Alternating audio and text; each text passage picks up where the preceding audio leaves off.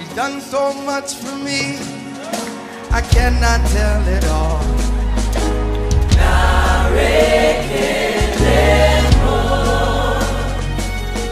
If I had 10,000 tongues, it still wouldn't be enough.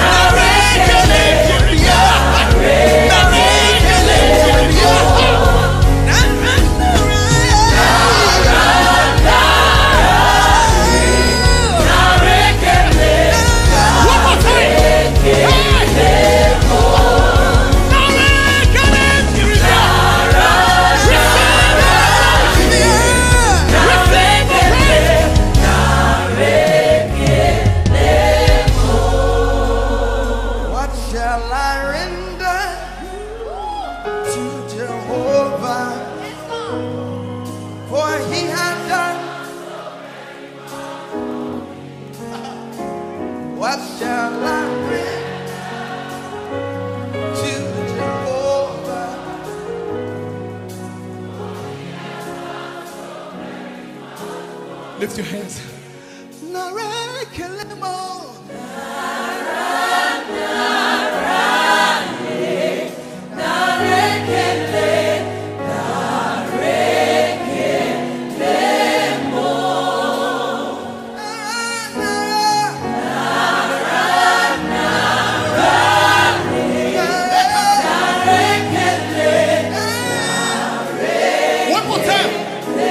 Church. Hey!